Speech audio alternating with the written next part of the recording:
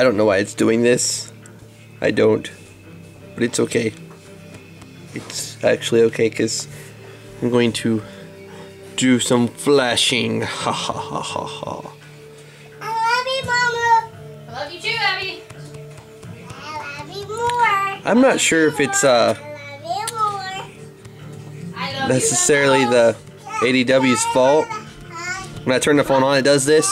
And my task killer, um, whenever I reboot, it automatically like starts up and starts killing crap. And then I set it not to by clicking this real fast and dragging this down and getting it to finally work.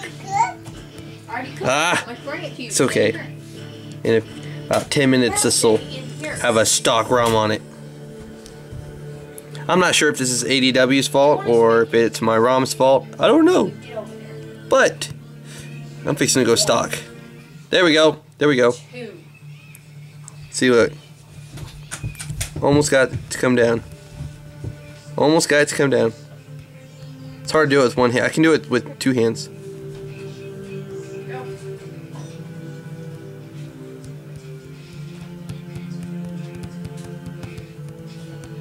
Oh well. Anyways, so yeah.